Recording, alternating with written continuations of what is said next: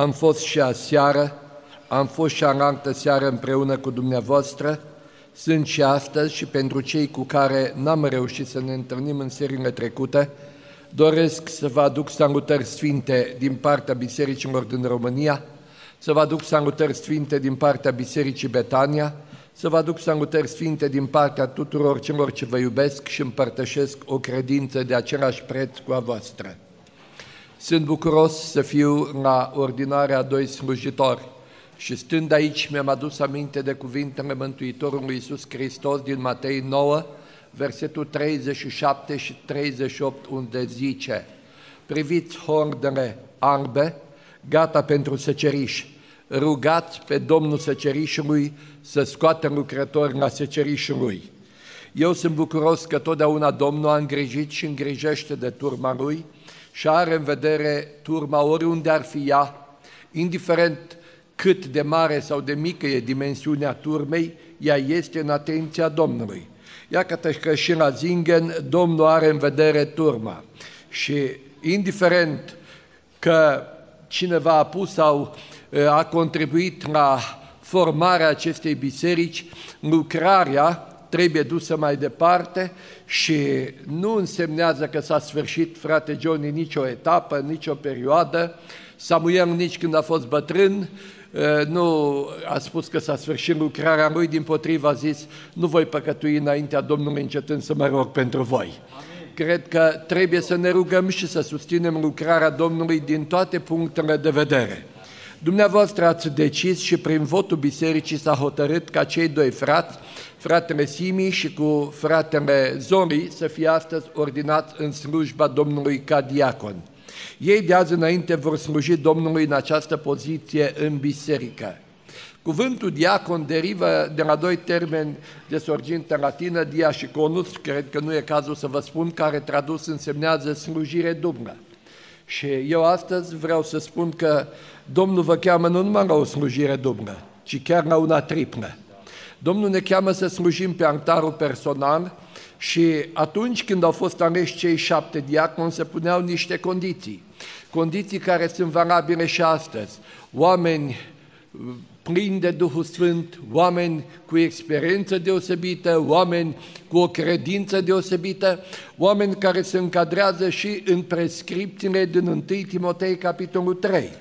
De aceea astăzi celor doi slujitori vreau să le spun că prima lor slujire care cred că a văzut-o Dumnezeu și a văzut-o biserica până acum, a fost slujirea personală. E o slujire deosebit de importantă. Nu așezăm în lucrarea Domnului oameni cu vicii. Nu așezăm în lucrarea Domnului oameni care au caracteristici, n-aș vrea să le numesc firești, dar în afara bisericii. În biserică și în viața sfântă bisericească, întotdeauna, în mod deosebit, cel ce trebuie să copieze chipul Domnului Iisus Hristos e slujitorul. Și eu doresc din toată inima să vă binecuvinteze Domnul. Mi-aduc aminte de ce zicea Apostolul Petru. E adevărat că el se raporta la prezbiteri, dar probabil că și la voi va veni ziua aceea, că zice Pavel în 1 Timotei, capitolul 3, chiar în partea finală, în versetul 13, că cine slujește bine ca diacon, dobândește un loc de cinste și o mai mare îndrăzneală în credința care este în Hristos Iisus. Și prin credință, raportându-mă la slujirea voastră de viitor ca fiind bună, Mă gândesc că într-o zi s-ar putea să vi se spună și vouă, cum zicea Petru prezbiterilor în întâia sa epistolă în capitolul 5. Sfătuiesc pe prezbiterii dintre voi, eu care sunt un prezbiter ca și ei, martor al patimilor lui Iisus Hristos și părtaș a slavei care va fi descoperită. În lucrarea Domnului e așa de important să fii martor. Nu un martor din ăla ce bați la porțile oamenilor cu revista Turnul de Veche. Din ăștia sunt mulți mai ales acum ne-au inundat nu numai uh, Germania și România, ci toată lumea este inundată de ei. A fi martor însemnează a avea o experiență deosebită cu Dumnezeu, a fi implicat într-o lucrare cu Dumnezeu și am eu obiceiul să întreb pe frați când sunt promovați în lucrare și stăm de vorbă cu ei, ce experiență deosebită au avut cu Dumnezeu. Cred că și frații slujitori de aici s-au interesat puțin de experiențele voastre cu Dumnezeu, că sunt foarte importante. Voi trebuie să știți că astăzi voi sunteți investiți pentru a fi martori a lui Isus Hristos, pentru a fi slujitori a Domnului Isus Hristos. Voi sunteți slujitorii lui Dumnezeu pentru biserică. Slujitorii lui Dumnezeu pentru biserică. Deseori se face confuzie. Și vin unii și spun, nu, slujitorii noștri. Ce spunem noi aia trebuie să facă? Nu e adevărat.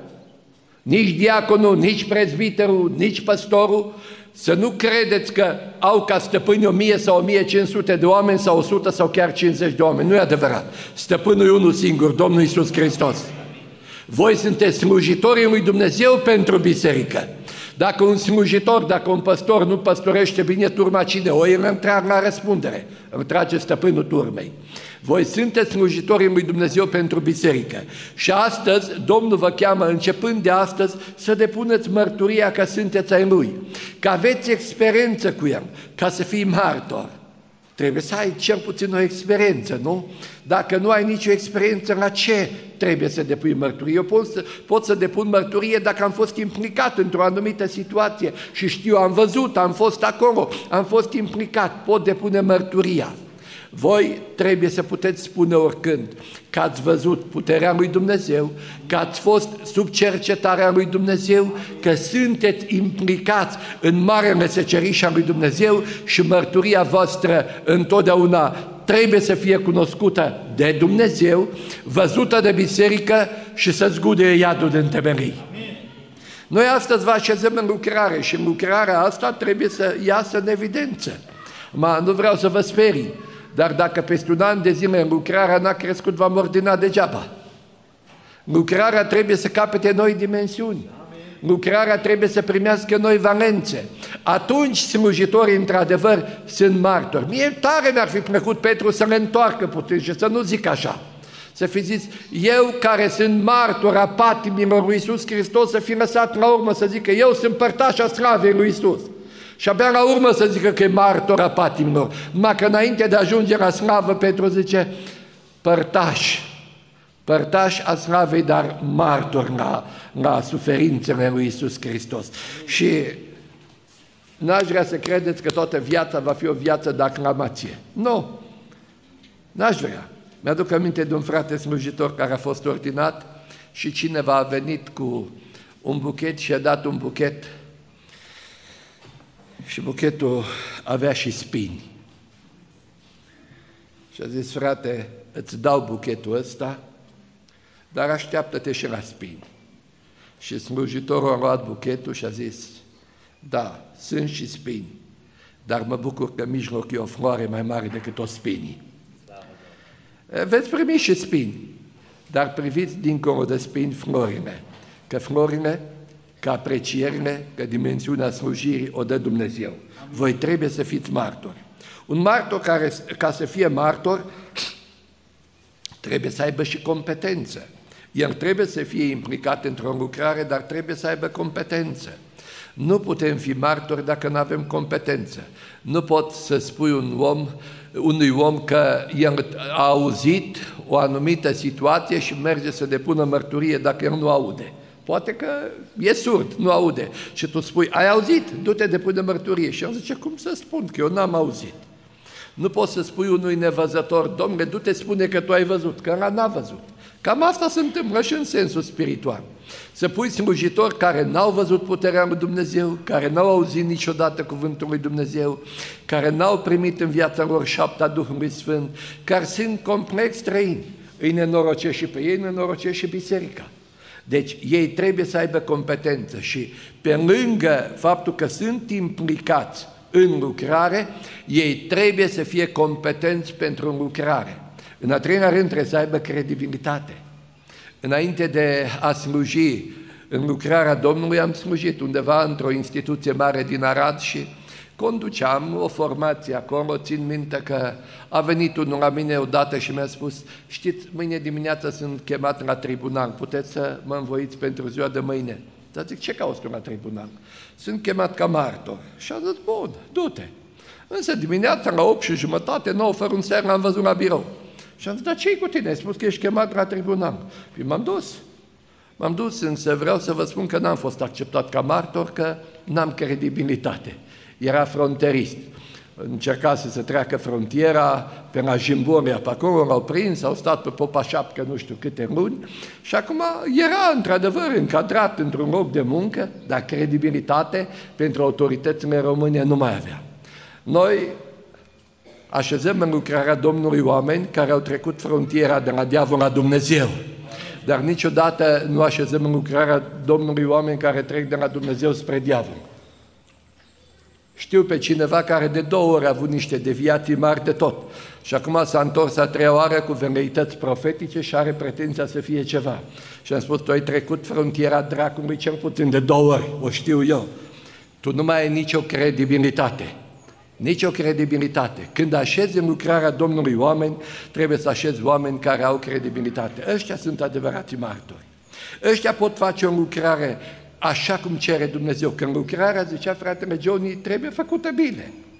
Și înaintea lui Johnny zicea Apostolul Pavel lui Timotei, cine slujește bine ca diacon, ca să slujești bine ca diacon, ca să slujești bine în Biserica lui Dumnezeu, ca să fii un adevărat lucrător în Biserica lui Dumnezeu, apoi trebuie să te cheme Dumnezeu. Rugați pe Domnul Secerișului să scoată lucrător la Seceriș. Noi doar încercăm să identificăm ce a chemat Dumnezeu. Încercăm să vedem ce a chemat Dumnezeu. Dar alegerea o face Dumnezeu, chemarea o face Dumnezeu și când o face Dumnezeu, ea se vede. Ea se vede. Atunci când Dumnezeu cheamă pe cineva în lucrare, sunt câteva caracteristici care se văd în lucrare, pentru că lucrarea, așa cum se amintea aici, are trei capitole mari. Are hrănirea turmei, călăuzirea turmei și ocrotirea turmei. Și oricine este așezat de Dumnezeu în lucrare trebuie să fie în stare să dea hrană turmei. Dacă nu poate da hrană turmei, nu are ce căuta acolo. Ce și-ar angaja cineva un bucătar dacă nu știe să pregătească? Da, de unde? Vine prima zi și a doua zi îmi pune pe liber, pentru că i-a băgat numai o travă sau numai ar, ar, sare sau numai ardei iute în mâncare și nu poate mânca nimic. Pune cineva un păstor la o turmă doi dacă ăla nu știe care e iarba bună și care e iarba, iarba infectată? Nu, niciodată nu angajez așa ceva. Și în lucrarea lui Dumnezeu trebuie să vezi cine sunt oamenii care au chemare. Semin Tipid, când a vizitat România, ne spunea că a venit odată cineva la el și i-a spus, auzi, tu predici și la predicile tale vin sute de oameni, poate chiar mii și să predau. Și eu predic și eu de doi ani de zile și la predica mea nimeni nu s-a predat. care e secretul? Tu predici, eu predic. Tu citești din Biblie, eu citesc din Biblie. Uh, tu insiști cu chemările, eu fac lucrul ăsta și la chemarea ta nu vine, la chemarea mea nu vine nimeni, la a ta vine atâția. care e secretul? Și s-a uitat predicatorul tipit la el și a zis, da, tu ai chemare din partea Domnului. Păi am, am avut una specială. Sigur? Da. Cum ai avut-o? Păi hai să spun. Am avut o chemare specială într-o noapte, am auzit vocea Domnului. Păi cum te-a chemat Dumnezeu? Și omul ăsta spunea, eu eram un mare fermier, cultivam porumb. Și la un moment dat am văzut că porumbul se răsucește tot, nu mai ploua, dar eu am fost așa trist și m-am gândit ce se întâmplă, pentru că Acolo era viața mea, acolo era uh, pasiunea mea, acolo era dăruirea mea. Și mă gândeam, poate că Dumnezeu vrea altceva de la mine, nu să cultiv porumbul. Și am tot stat și m-am frământat, porumbul se usca, nu mai ploua. Și mă gândeam, ce o să fac? Și cum stăteam așa într-o noapte, am auzit o bubuitură mare. Și am zis, mă, ce vrea să fie bubuitura asta? Am ieșit afară și am văzut pe cer trei litere. D, S, P. Și am înțeles că bubuitura e glasul lui Dumnezeu și m-am uitat că Domnul spune, du-te și predică. Și de atunci predic de doi ani de zile, dar niciunul nu se convertește. Și Samuel Tipit a spus, băi, nu te-a chemat Domnul să predici. Bubuitura te anunța că vine ploaia. Și acum zicea, du-te seamănă porumb, că ăsta se uscase care era înainte. Tu n-ai înțeles vocea Domnului. Mă, lăsați-mă să vă spun că pe unii și eu aș trimite la semăna de porumb. Sunt destui din cei care ar trebui să seamene porumb și să lase totul deoparte. Înțelegeți că e importantă chemarea Domnului. Și chemarea Domnului o puteți cultiva sau o puteți frena. Domnul atât de mult vă însoțește câtă vreme voi vă deschideți. Când voi vă închideți pentru o lucrare, atunci Domnul se retrage. Chemarea Domnului nu e numai în diaconit. Chemarea Domnului și pentru cântăreți, pentru urmașii lui Asaf, chemarea Domnului și pentru recitatori, chemarea Domnului este pentru toți cei ce într-un fel sau altul sunt implicați în lucrarea Domnului, că aici nu există șomaj. Și când Domnul cheamă, prima condiție care El o pune în chemările Lui este cea a sfințirii, să fim sfinți, să avem mesaje din partea lui Dumnezeu, să avem relații cu Dumnezeu, să fim martori, așa cum spuneam, Domnul cheamă dacă într-adevăr suntem vrenici de chemarea Lui. Spuneam că slujirea trebuie să fie triplă. Și am vorbit până acum numai de punctul 1. Noi trebuie să ne sfințim, noi trebuie să slujim, noi trebuie să avem chemare din partea Domnului, noi trebuie să insistăm asupra sfințirii în viața noastră. În cântarea cântărilor, porumbița zice, nu vă uitați la mine, sunt neagră, dar sunt frumoasă. Știți, frații mei, fiii mamei mele s-au supărat pe mine și m-au pus păzitoare la vii, dar via frumuseții mele n-am păzit-o.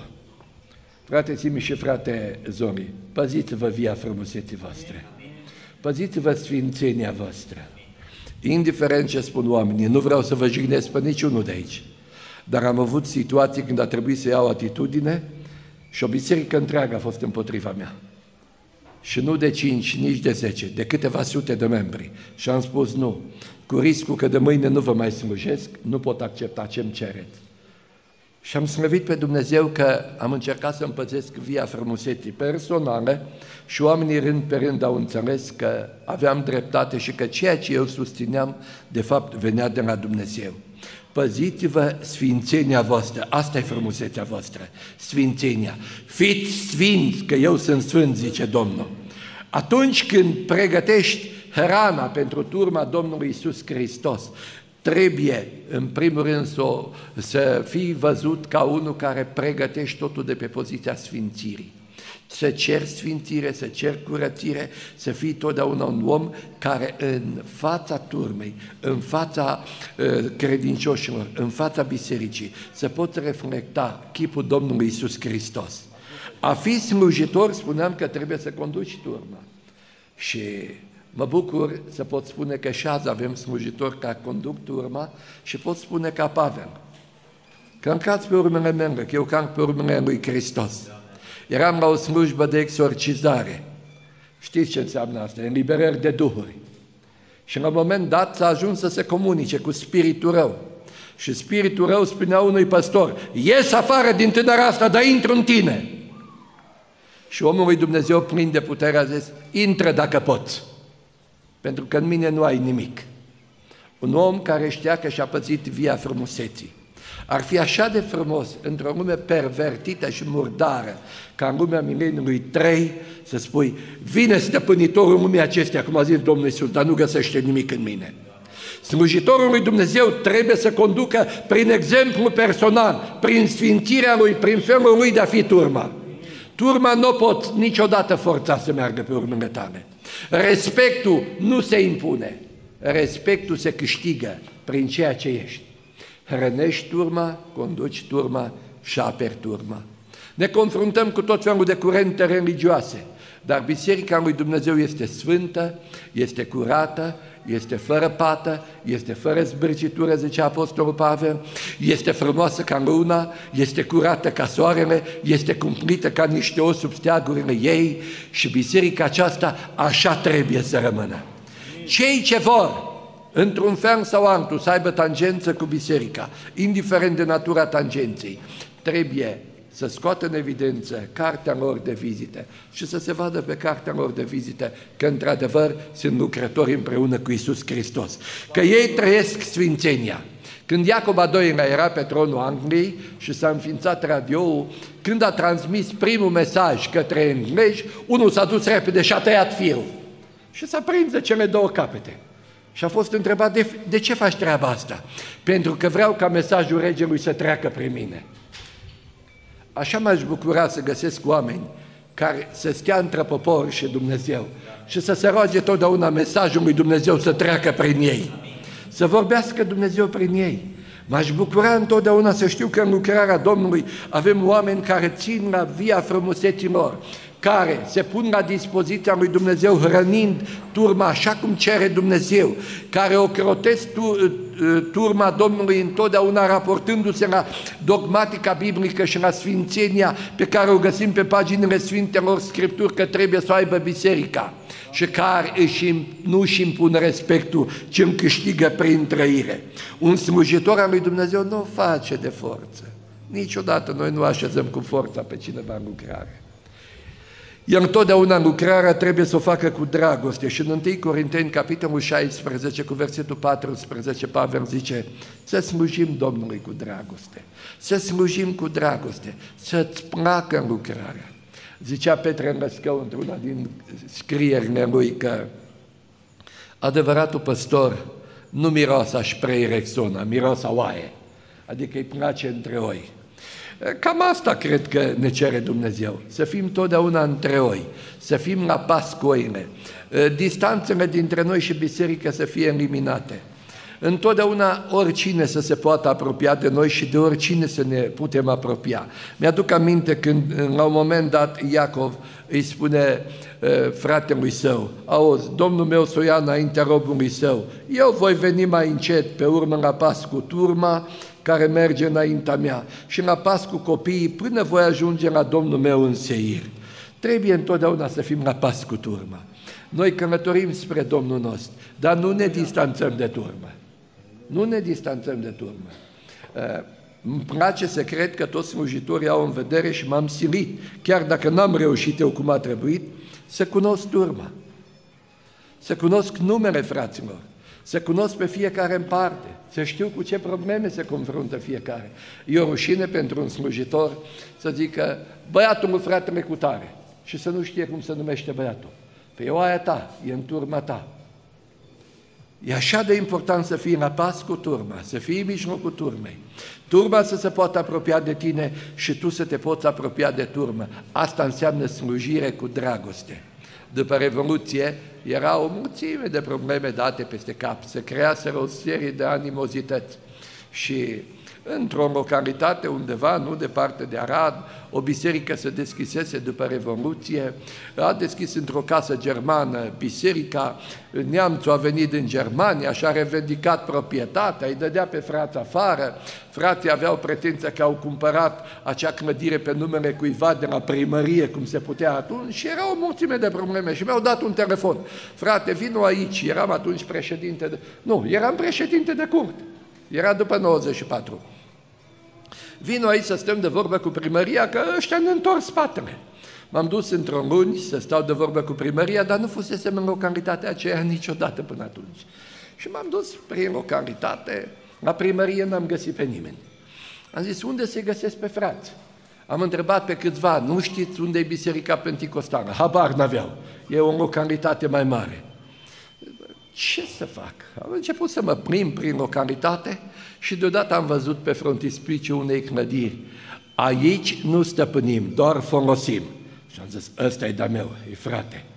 Am dus, am bătut la poartă și a venit un frate, la 65-70 de ani, și am zis, pacea Domnului, pacea Domnului. Sunt fratele tipei. Am zis, nu, nu vă știu. Ce, ce credință aveți? Păi sunt frate baptist. Nu-i nimic. E bine că sunteți frate baptist, că mă puteți ajuta. Frate, uitați, caut biserica penticostală, caut un credincios penticostal. Ungul prin localitate, trebuia să ne vedem la primărie, la primărie n-am găsit pe nimeni și aș vrea să discut cu cineva. Și aveau ei o aterziană acolo. Zice, uitați-vă, bătrâna aia care e la aterziană e chiar credincioasă penticostală. Aia ce-și umple acum găleata să ia apă. M-am dus repede acolo, m-am dus la bătrână, am zis pacea Domnului, am zis pacea Domnului. Soră, vreau să vorbesc cu păstorul bisericii. Era un prezbiter local, ca, așa se numea ea, păstor, că era unul din ăsta mai cu pregătire, Johnny. Știi? Și se numea păstor local, deși era doar prezbiter. Și a zis, frate, nu se poate. Păi de ce nu se poate? Azi e luni și ziua lui liberă. Și am zis, cum? E luni și ziua. Nu, nu, zice, lunia e ziua lui liberă. Și nu, chiar mi-a spus la biserică să nu mai spunem la nimeni unde locuiește, că toți vin pe capul lui. Am zis, bun, eu nu i-am spus cine sunt, dar zic, vreau neapărat să vorbesc cu el, eu am venit pentru o problemă importantă aici. Și am zis, frate, nu se poate. Nu se poate. Dați-mi un număr de telefon. Nu pot să vă dau nimic. Nici adresă, nici telefon. Azi e ziua lui liberă, vino și dumneata când avem program la biserică și stai de vorbă cu el. Când am văzut că bunicuța era foarte hotărâtă, am zis, soră, eu sunt fratele Tipei, sunt președintele curtului. Repede a pus gândata jos și a zis, sigur ești? Sigur. Atunci îi spun, dar nu cumva să spui că eu ți-am spus. Uite aici pe prima stradă, o iei la dreapta și a doua casă pe stânga a lui. Dar te rog foarte mult, nu cumva să mă bagi în necaz. Nu spune că eu ți-am spus, parcă eu știam cine ea. Că nu știam, era o bătrână. Dar și atunci era terorizată de gândul, chiar dacă a spus la președintele cultului că ea face o gafă, că îi strică ziua de odihnă acestui slujitor. Ma ce-am luat la pe coajă nu vă spun eu după ce m-am întâlnit cu ea. Dar, de asemenea, slujitori nu avem nevoie. Slujitorii lui Dumnezeu trebuie să slujească totdeauna cu dragoste. Trebuie să fie aproape de turmă. Ei trebuie să fie gata de sacrificiu. Gata de sacrificiu. Nu odată s-a întâmplat că păstorul s-a pus între turmă și fiară.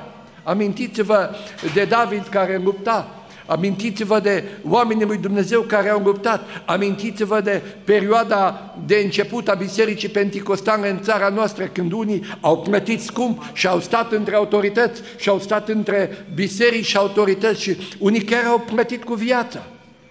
În 8 august 1927 am avut primul martir penticostal. A fost fratele Pernevan Dumitru care, pentru că s-a dus la trei bătrâni și un bătrân. Și le-a vorbit din cuvântul Domnului. Și l-a oficiat actul cinei Domnului, l-au prins jandarmii și autoritățile eclesiastice ale vremii din biserica dominantă, l-au bătut, l-au călcat în picioare, a ajuns în spitalul din Arad, acolo s-a dat ordin să nu fie tratat și în dimineața aceea pe strada Vicențiu Babeș, la numărul 11, a murit în brațele fiicei lui.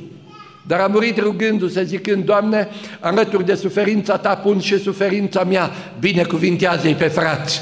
Astăzi ne numărăm cu miile ca biserici, cu sutele de mii ca membri, pentru că s-au găsit păstori care au stat între turmă și fiare, între turme și lupi, între turme și cei ce au vrut să distrugă lucrarea.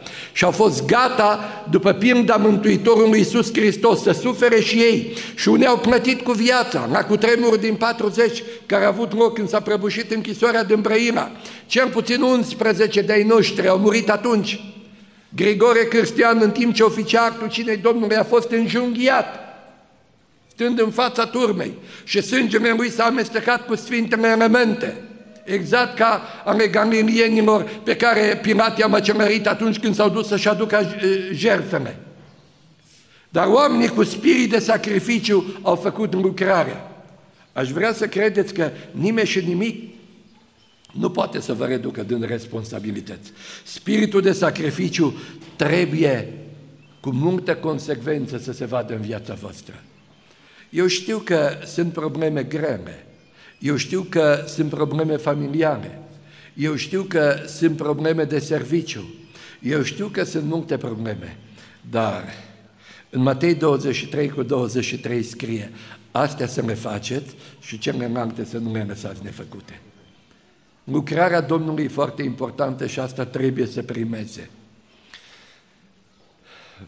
Îmi cereau frații aseară să le spun o întâmplare. Eram tânăr păstor, nu aveam nu mașină, nici bicicletă nu aveam. Cum a zis, asta mea, a fost eticheta ce a pus-o soacră mea pe mine când m-am dus să-i cer fata. A zis, ce ai? N-ai mașină, nici bicicletă n-ai, de cu mașină. Și tu crezi că noi îți dăm fata? Asta a fost uh, rezoluția după o discuție lungă cu sora Toma, care era o soră baptistă când m-am dus să-i cer fata. Dar tot am luat fata și dacă n-am avut bicicletă. Dar anii au trecut, asta am zis așa să vă descrețim frunțile. Am început slujba, lucrarea Domnului și era foarte greu. Era foarte greu. Slujam în două biserici din oraș, în Biserica 5 și Biserica 1 alături de fratele Mariș, dar frații mi-au mai dat încă șase biserici la țară. Și mergeam dacă vreți, zeci de kilometri. Mă sculam dimineața la 4, la 5 fără 5, luam trenul din gară, la 7 fără un sert eram la Târnova, pe Valea Crișului și de acolo luam printre dealuri până la Nadăș. Din gară până la Nadăș aveam 22 de kilometri. Și mergeam pe jos, trei ore jumate, patru ore, eram frânt de obosit. Ajungeam după orele 11 acolo, dădeam cina Domnului și mergeam la responsabilul bisericii acasă. Mă culcam acolo și după masă veneam să țin o predică. Iar lunea mă întorceam, că lunea dimineața era autobuz și atunci când venea autobuzul, veneam și eu acasă în Arad. Și a fost o iarnă cu o zăpadă foarte mare, prin 81-82 cădea zăpada că și trenurile nu puteau circula, aveau locomotive în acel V în față să cureță șina. Era o iarnă foarte grea.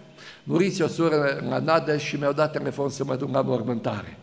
Și am plecat să merg la mormântare. Am plecat eu la 5, dar am ajuns abia la 11 la Târnova. Trenul tot mergea și se oprea. Când am ajuns la Târnova, un frate ceferist ce lucra în gară, când m-a văzut, m-a întrebat, frate, dar ce faci? Zic, vreau să mă duc la Nadeș, am o mormântare. Frate, dar pe vremea asta, eu nu m-am dus de aici din gară până în sat să-mi iau laptele, că i-am luat lapte de la cineva din sat. Și dumneata vrei să merg până în Nadăș? Păi, frate, ce să fac? N-am diacon, n-am prezbiter, am un responsabil mai bătrân, nici nu prea era un predicator, trebuie să mă duc îți faci cum vrei, de eu te sfătuiesc să stai în gară că vine trenul din spre Ineu și du-te înapoi acasă. Zic, dacă am venit până aici, poate găsesc un mijloc de transport, mă duc. Și așa, prin zăpadă, până la genunchi, am ajuns în sat în Târnova și un bătrân de-a nostru, fratele Cociuba, cu o lopată mare, curăța zăpada. Parcă îmi văd și acum avea așa sprâncene mari, ca să te vadă trebuia să ridice capul în sus. M-am salutat, moșul a ridicat capul și a zis, băi frate Tipei, dar ce cu tine pe aici? Păi vreau să mă duc la nadă și am o mormântare. Băi, bă, tu când te rogi, te rogi la Dumnezeu să-ți dea și înțelepciune. Păi cum vrei tu să te duci la nadă și pe vremea asta? Tu n-ai auzit că în pădurice la tau lupii au atacat oamenii și tu vrei să treci pe acolo, tu te duci la nadă și tu nu vezi ce zăpadă -i? Am zis, frate Mitre, acum, indiferent ce se întâmplă, eu știu că trebuie să mă duc. Mă duc până la intersecție, la ieșirea din sat era o intersecție, poate prind un tractor, o sanie, ceva să mă duc și dacă nu, dar știu că tot ce am putut să fac am făcut. A stat puținul bătrânul așa pe gânduri și a zis, știi ce, ai răbdare. A intrat în casă și a venit cu două pături. Mi-a dat o pătură, mi-a pus-o în cap și a intrat în graști. Și a venit din graș cu o mărțoagă de can, bătrân, a pus pătura pe ea și a zis, știi să călărești? Păi am călărit când eram copilantru. No, sus pe can și merg călare pe can. Mi-a spus, vezi, fii atent să nu dai cu călcâine în iapă, pentru că e bătrână și o dor oasele. Dar zice, după ce se încălzesc încheieturile mea, merge binișor. meu, când m-am urcat pe am crezut că mă despic în două. Era și raspinării ca ferăstrăul meu. M-am dus, am ieșit din sat și am ajuns la intersecție. Când am ajuns la intersecția, unde trebuia să iau la dreapta, atâta s-a învârtit cangul cu mine până m-a aruncat într-un șanț. Am uitat că bătrânul a zis să nu mai dau cu căncâine, ca banam am găsit o creangă uscată, i-am făcut corecția și acum am băgat-o pe ea în șanț, am cămărit-o din nou, dar nu mai știam în ce direcție să merg. Vântul venea așa numai în rafale, zăpadă, nu se mai vedea, nu știam în ce direcție. Pe urmă am zis, stai puțin că în partea dreaptă am mai multă zăpadă, am realizat-o din ce parte bătea vântul și cumva am luat direcția. Mă uitam în stânga și în dreapta la pomică, nu mai știam unde e drumul. Și m-am dus, am mai văzut o vung pe care mi-a tăiat carnea și am ajuns la Nădăș. Cu creanga uscată, mai îndemnam iapa să meargă, că tot mă gândeam că trebuie să ajung la timp. Începuse slujba să ținea în casă, am băgat iapa la responsabilul bisericii în grajd și m-am dus să slujesc și eu. Pe urmă ne-am dus la cimitir. La cimitir era plină groapa cu zăpadă, am stat până o scos zăpada, am înmormântat pe sora noastră și am venit înapoi. Dar când am venit înapoi, m-a cuprins o întristare. Cei unde am așezat pentru o dihnă, carul să se odihnească și să mănânce, mi-a spus, frate bai, moare iapa. Zic, cum? Domnule, ai culcat acolo pe pământ, nu știu ce ai făcut cu ea, ai gonit-o, toate în ac de apă, nici capul nu mai mișcă, vai de mine, când am auzit copiii erau mici, mă apucasem să-mi remodelez casa, sărac, mă să mai și plătesc anul omului. M-am dus, sora Raveca, așa o chema pe soția responsabilului, mi-a zis, vino frate, că am gătit o tocăniță de cartofi cu carne să mănânci, lasă-mă soră, numai de tocăniță nu mă arde acum, mă tot uitam la carul ăla. S-au dus, i-au chemat un veterinar, a venit un veterinar, au dus i niște ancor distinat într-o sticlă, deschis gura la car, el a turnat ancorul în el și cu niște gemotoace de paie am început să-i facem masaj pe șira spinării. Habar n-am avut că se spune despre cai că au toți eh, centrii nervoși pe șira spinării. Și după ce făcurăm noi vorba lui Ion Creangă, trebușoara asta vreo 10 minute, am văzut că a scuturat odată din cap și a sărit în picioare. Vă spun sincer, un înger, dacă apărea în fața mea, nu mă bucuram așa. Eram așa de trist. S-a ridicat, capul imediat l-a băgat în, în iesme. S-a dus fratele Ion, cum îmi chema pe responsabilul bisericii, a dus într-o găleată niște ovăs, i-a dat să mănânce, pe urmă un coș de lucernă și a zis, hai mănâncă și dumneata ceva până mănâncă carul. M-am dus, era sărată tocana aia că nu aveau frigider, din sare au scos carne. Tot a mâncat-o Simi.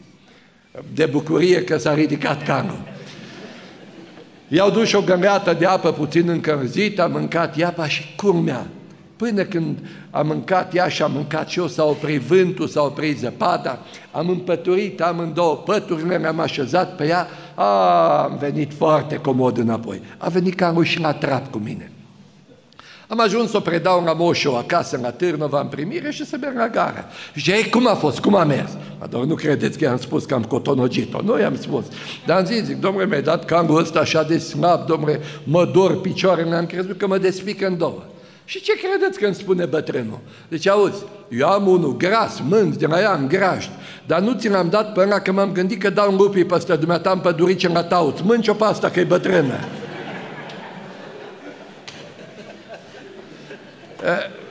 E comică situația, dar reală.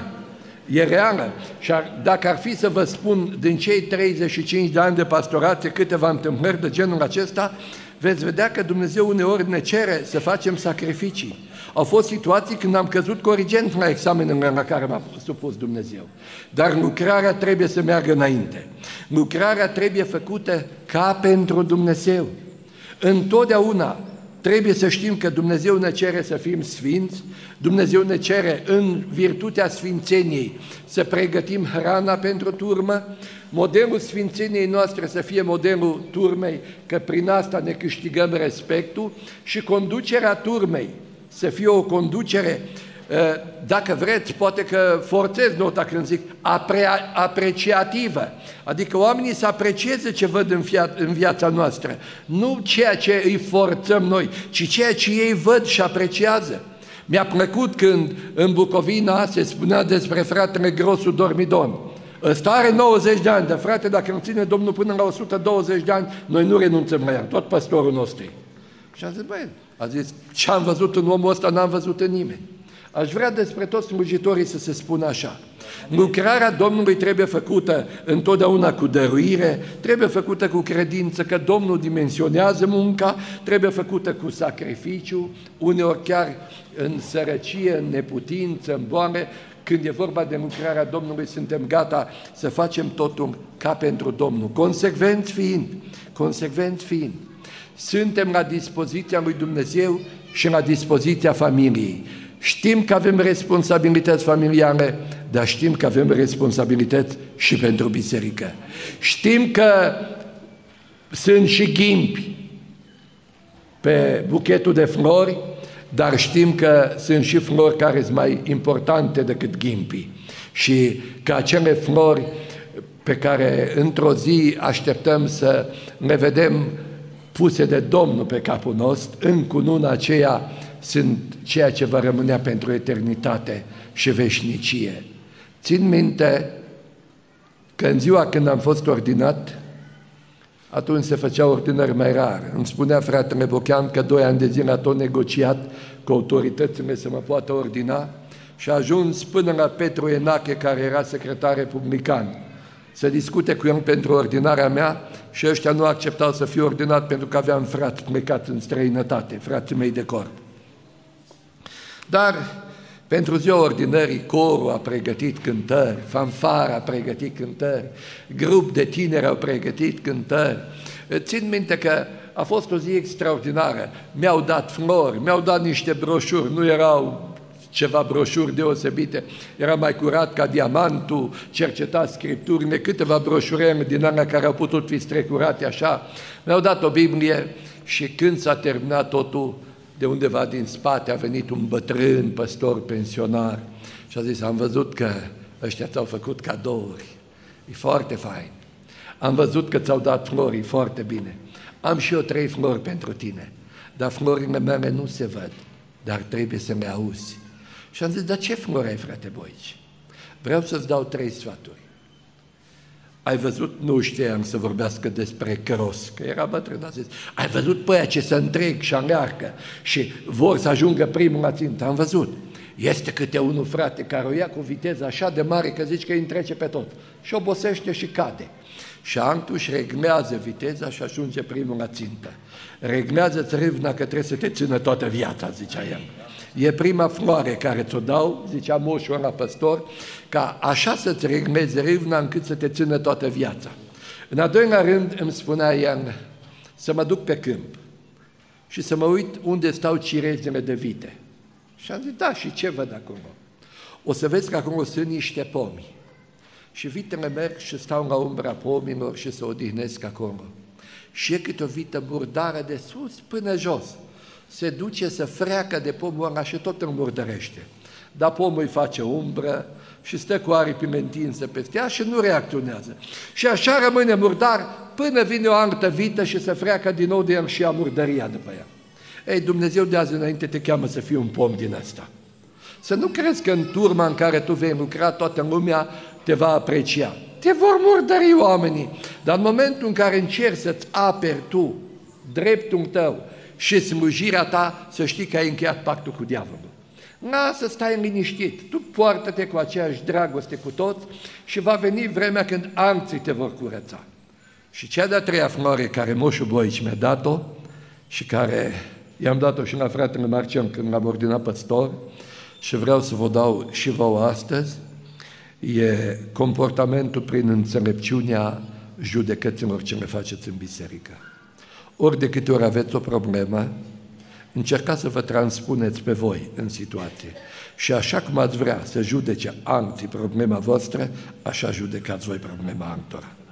Întotdeauna imaginați-vă că voi sunteți cei ce trebuie să fiți judecați și măsura și decizia care ați vrea să se iei în momentul acela cu privire la voi, măsura aceea trebuie să o luați și voi. Sunt gânduri deosebite gânduri și flori pe care mi le-a dat un bătrân ce a trăit 93 sau 94 de ani.